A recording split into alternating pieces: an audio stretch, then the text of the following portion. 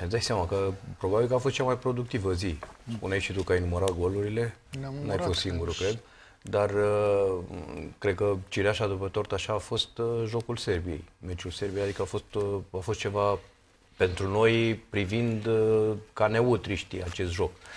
Ca să fii implicat, adică să ai 3-1 și să fii implicat emoțional la un astfel de meci, e, nu e chiar... Știi, uh, știi ce ți-aș propune? Să ne conectăm un pic cu Qatarul și fac apel la memoria ta de jurnalist cu state vechi.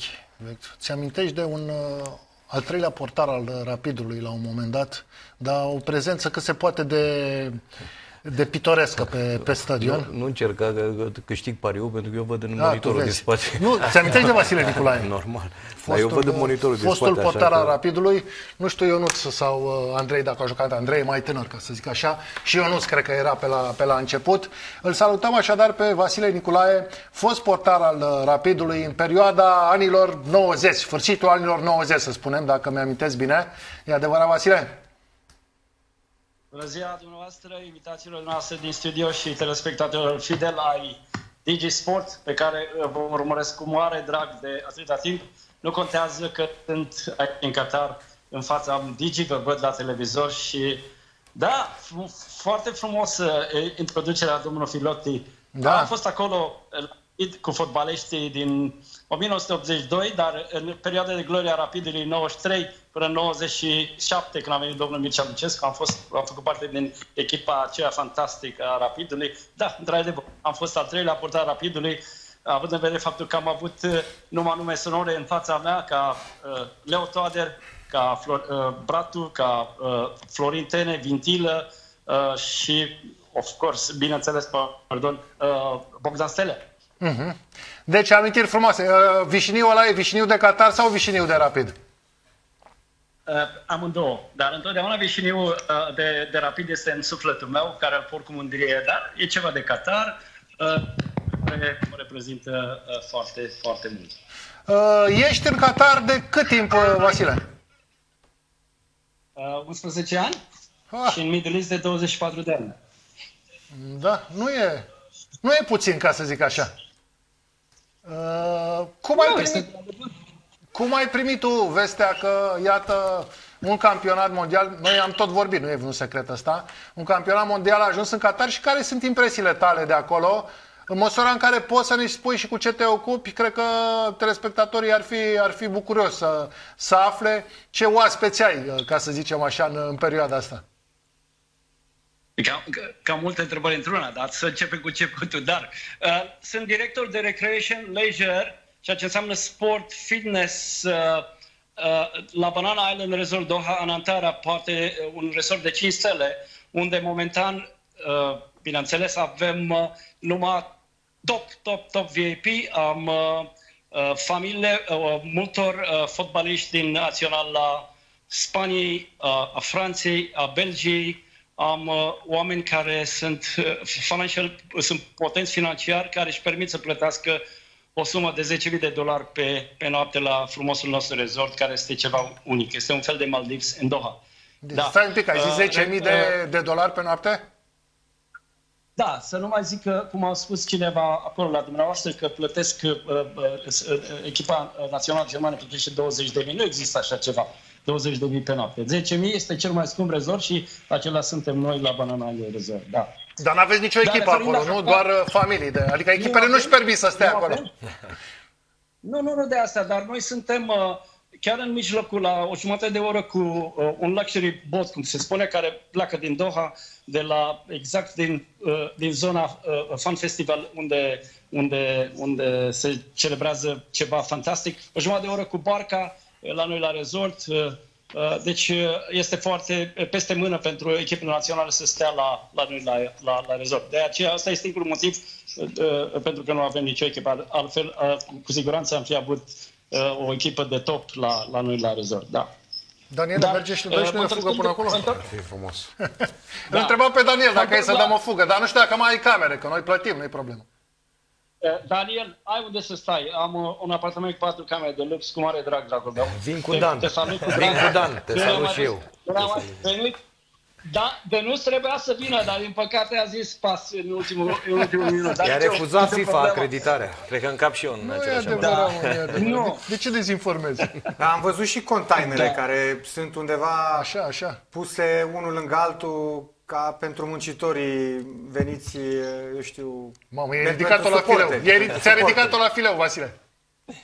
Ionuț, exact, uite, unul dintre motive sunt eu astăzi în emisiune, cu toate că eu sunt o persoană foarte retrasă, dar sunt adeptul adevărului și urăsc minciuna și ipocrizia. I-am spus lui Dănuț acum o, câte, o săptămână trecută că s-au discutat așa de multe lucruri uh, despre uh, Qatar și atât de multe neadevăruri încât, sincer, sunt perplex. Hai ca să vă spună o persoană care este de 11 ani în această minunată țară care, vă spun sincer, în 11 ani de zile a construit ceva incredibil. Și acest campionat mondial probabil o să fie unul dintre cele mai bune care s-au ținut vreodată în această lume. Da? Tu vorbești ce-au din punct de pățit vedere al acești oameni? jocului. Din punct de vedere al De jocului. la, nu, nu. De la infrastructură. Nu, la infrastructură. La... infrastructură, la hotelurile care sunt organizate, la terenurile de fotbal, pe care se antrenează echipele uh, participante, plus de terenurile care se țin meciurile, sunt ceva unicat. Sunt Dar ceva cu ce preț, Vasile, care- că ajungem, ajungem aici în uh, Da. punctul ăsta al discuției în care lucrurile... Iar ai ridicat mingea la fileu.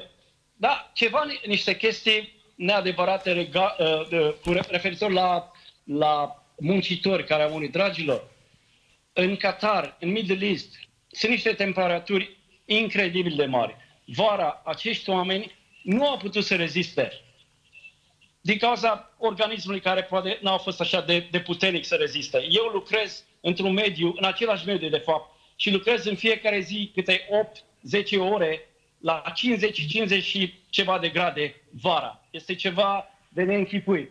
Dar acei oameni probabil nu au căzut după schelă când au construit un, campi- un, un, un, un uh, stadion. S-a întâmplat, s-au întâmplat lucruri uh, naturale din cauza acestei, uh, ace- acestor uh, uh, condiții atmosferice care sunt, v-am, v-am spus, sunt foarte, foarte Dar acele containere sunt, uh, acele containere sunt reale pentru suporteri sau doar uh, fake news?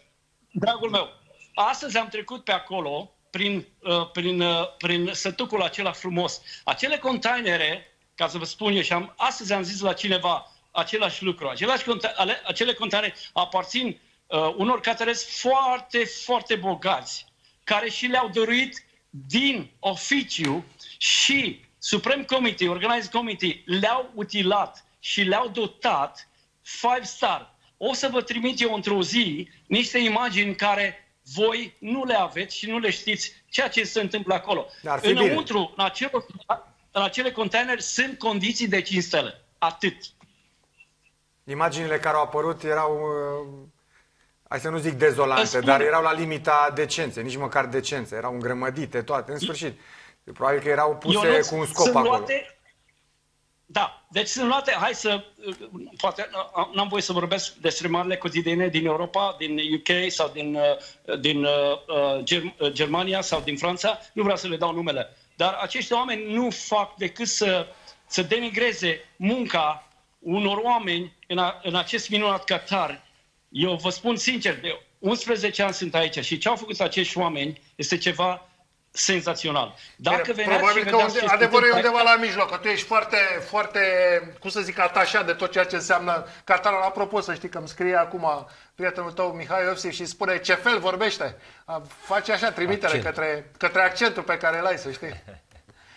Îmi cer scuze. Probabil, probabil uh, din cauza faptului că n-am mai vorbit românește de, de mult Da, decât... da, uh, nu, așa, glumim dar- categoric. De aia spuneam că tu, tu Să mai prezinți, vorbești cu Miță, Iosif. prezinți o realitate Și eu sunt cu Portugalia, sunt fan Cristiano Ronaldo, dar uh, au individualități, dar nu o echipă adevărată, ca să candideze la, la titlul de Zic că ai de văzut mai de campion aproape. A mondial. fost, a fost gol sau nu? Că ești acolo. A atins mingea sau nu a atins? Uh, deci, nu. Deci nu a atins mingea. Clar. nu. Da, mă zic că a atins-o, măcar Da, nu n-a mă caut atins. și eu pe cineva. Bănuiesc că s-a tot reluat Da. la televiziunea catareză, s-a tot vorbit despre, despre faza asta. Nu, asea, uh, uh, de dimineață am vorbit cu un mare reporter de la Bein Sport, o prietenă de-a mea, și, și mi-a confirmat faptul că n-a fost. Zic, cum a reușit, uh, cum au reușit tehnologia să, să identifice faptul că a atins sau n-a atins. Zice, uh, Mr. Nicolae zice, avem niște chestii care, uh, uh, știi, ne dă, ne dă aceste indicii, știi? În fine. Te rog. Da.